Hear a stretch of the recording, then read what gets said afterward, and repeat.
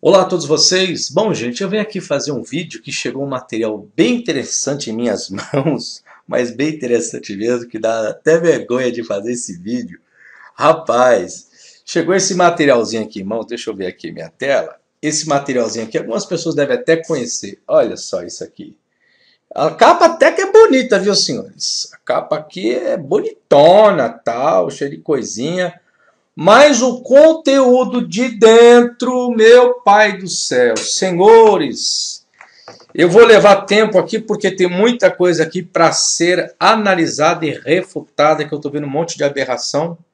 E a pessoa disse que a bibliografia desse conteúdo, papiro ossirinco, né, ela, ela, a pessoa coloca com dois S, bom, eu não vou nem fazer correção do português aqui, e é o famoso dicionário das mitologias, esse aqui, senhores, que já vi que não corresponde também. Aí a Bíblia grega, The Greek New Testament, a terceira edição, deve ser, acho que é, deve ser de Kurt Aland, não tem nenhum nome aqui, só tá isso, mas nem diz quem é.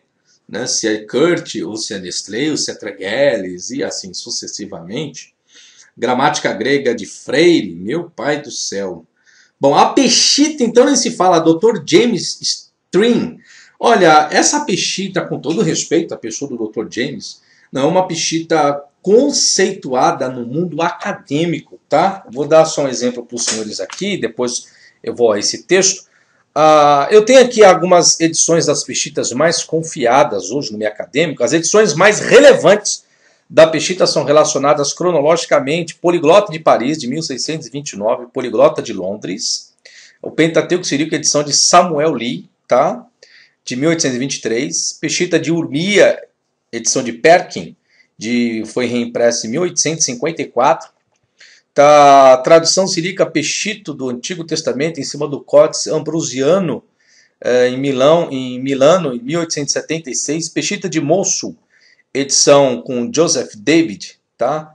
de 1887. Peshita da Escola de Bar e eh, 1225, segunda edição de Martin e William Graham. Olha só, essa petida aqui de William Graham, dessa datação aqui de 1225, essa é a pechita que nós temos no programa chamado Bible Work, que é o programa que eu tanto utilizo com o Senhor, tá? Só para os senhores verificar aqui, ó. Pechita, olha aqui o nome aqui, ó, tá? William, tá? A edição e é, é, essa edição com aparatos e tudo de 1901, mas o trabalho dela é de 1200, com, conforme nós vimos aqui, vamos lá. 1225 a 1308, tá? Segunda edição aqui, tudo bonitinho. Tem a pechita de Jacó de Edessa de 633, de acordo com a edição de Moshe Gottschen, Gottsten, tá? Está aqui. E o Antigo Testamento sírio de acordo com a Peshita de Pieter.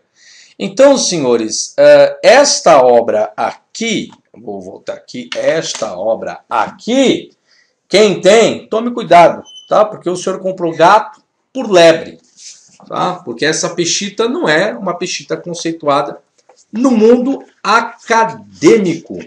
Então eu estava vendo aqui a bibliografia e a coisa mais horrenda, mais horrenda que eu vi aqui é que eu vou compartilhar com vocês do que eu escaneei dessa obra aqui, tá aqui a obra, tá? Para todo mundo ver. Tá? É que olha só o que, que diz Gênesis 2,4. Estas são as origens. Aí vem Eler Toledort. Toledort. Gênesis 2,4. Vamos lá para Gênesis 2,4. Vou até pegar aqui Gênesis 2,4. Gênesis 2, versículo 4. Nós temos Eler Tol, Tol, Tol Dot. Não é, a, ó, é Tol, eu tenho aqui um Tav, eu tenho aqui um, um Vav, só que aqui é uma, uma vogal, tá? Eu tenho um Rolevav, eu tenho um Lamet, eu tenho um Shiva, depois eu tenho um Dalit, depois eu tenho outro Rolevav e tenho um Tav, outro Tav. Então eu poderia ter Toldot, se algumas pessoas colocam que Shiva é audível porque a vogal que antecede é uma vogal longa por natureza. Então eu teria Toledot, ok? Se a vogal antecedente fosse uma vogal breve, isso em hebraico, então eu teria Toldot. Então esse L, esse Shiva seria um Shiva mudo, um Shiva móvel. Mas como a vogal antecedente é uma vogal longa por natureza na classificação qualquer gramática de gesênios ou qualquer outra, Thomas Lamb, Paul, John Muraoka, qualquer gramática de hebraico vai explicar essas regrinhas gramaticais, tá? Então eu posso pronunciar a Eler Toledot, Toledot, Toledot, ok? Vamos ver como a transliteração ficou aqui para a pessoa pronunciar. A pronúncia ficou da seguinte forma aqui, olha só. Tor com R, Torledort. Meu, isso aqui, um camarada vendeu um negócio desse, transliterando totalmente errado. Aí vem a pergunta: da onde tirou essa transliteração? Da onde? Ok. Olha outra coisa que eu não acreditei, senhores. Aí vem assim: dos céus e da terra, quando foram criados, no dia em que o Yehua. Peraí.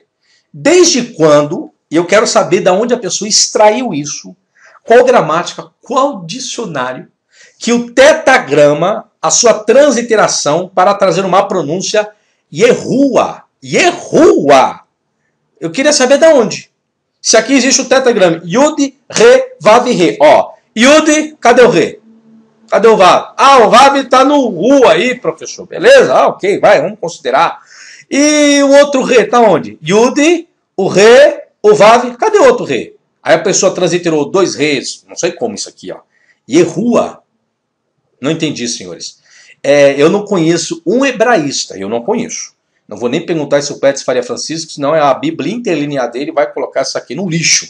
Que na verdade, me desculpe, se eles compraram um material, quem adquiriu esse produto aqui, me enviaram, me enviaram de graça, não vou dizer o nome, eu agradeço, tá? Chegou o material, já estou fazendo o vídeo aqui. Eu dei só algumas folheadas. Gente, mas o que tem de aberrações aqui? A pessoa, mas segundo os códices. Não, não tem códice nenhum aqui. É, esse material não vem de códice algum. A pergunta é: o Antigo Testamento veio de qual códice? Leningrado? De Alepo? Hora 445? De qual que veio? A pechita que está aqui, segundo, segundo informa aqui, é da, da pessoa que eu informei, do, deixa eu pegar o nome aqui de novo, Dr. Jamie Trin, é o seguinte, eu, eu vou pegar esse material do Dr. Jamie Trin, vou buscar, tem aí na internet que eu sei, pechita.org, e vamos ver se a transliteração confere, só que eu vou comparar essa pechita na escrita com essa aqui do Bible Work, que está aqui, senhores, deixa eu voltar lá para o Novo Testamento, com essa pechita aqui, ó, tá? Essa aqui é a mais conceituada né? Essa aqui é uma pechita conceituada, que é a pechita de William tá? e do reverendo. E vamos comparar com esse material. Isso aqui é a pechita de 1200 e alguma coisa. Né? Bom, então só para informar, chegou o material em mãos e se preparem, senhores. Que vai vir bomba aí pela frente. Quem adquiriu esse produto aqui, infelizmente, é, quem fez não conhece de hebraico, não conhece muito menos aramaico. Eu posso dizer que eu conheço um pouquinho do aramaico, porque eu estudei aramaico bíblico e targúmico na USP. Então eu tenho uma certa capacidade para analisar esse conteúdo aqui. Eu só folhei aqui uma parte introdutória, misturando tudo. Tem livros aqui que, né, que não foram considerados no cano, mas tudo bem, isso aqui eu relevo. Né, livros que está aqui que não faz parte do cano, isso aqui eu relevo. Agora, a tradução de algumas coisas que eu vi, transliterações, transliterações absurdas que nenhum hebraísta, nenhum hebraísta vai concordar com isso, nenhum mundo acadêmico, ou seja, a pessoa foi. É, bom, tem outras informações, que eu não sei se procede informação, parece que isso aqui é um plágio de uma outra obra, então eu não vou afirmar porque eu não fui averiguar se procede informação, mas eu vou julgar o que eu tenho aqui em mãos. Então, que, por que, que eu estou fazendo esse vídeo? Para vocês tomarem cuidado no que vocês vêm adquirindo. Tá? É tanta propaganda que se faz e aí, como uma pessoa não tem um conhecimento, acaba achando que isso aqui é a verdade, é a Taná, é a Brit Hadashah fiel aos manuscritos. Me desculpe, não tem nada de fidelidade a manuscrito algum. E as primeiras provas já escrevi para vocês aí, pra, só para vocês verem. A transliteração que já foi feita em cima do tetagrama. Pegaram o tetagrama e colocaram que a pronúncia do tetagrama está aqui escaneado para vocês aí. Ó. A pronúncia do tetagrama é Yerrua. Meu Deus do céu. Gente, onde nós vamos parar? Fora isso, é porque eu peguei só essa página. A hora que eu bati o olho, que eu vi isso aqui, ó, essa Torledorte, pode parar, tá certo, gente? Então não se esqueça, compartilhem os meus vídeos, esse aqui no Facebook, no YouTube, compartilhe os vídeos. É, quer meu material? Entra no meu site www.professorfabiosabino.com.br e não se esqueça de se inscrever no meu canal para você receber a, a, os vídeos quando eu lanço. Porque eu sempre compartilho. Se você não estiver inscrito no meu canal, fica difícil. Então se inscreva no meu canal para você saber os vídeos que eu estou compartilhando. Porque daqui para frente vai ser só bomba. Eu vou só lançar bomba e vou desmistificar o que estão mistificando aí. Muitos gostam, outros não gostam. Mas a minha função como profissional é fazer isso. E já estou mostrando que tem aberração do material que as pessoas estão adquirindo. Tá certo? Sucesso para vocês. Até a próxima e tchau, tchau.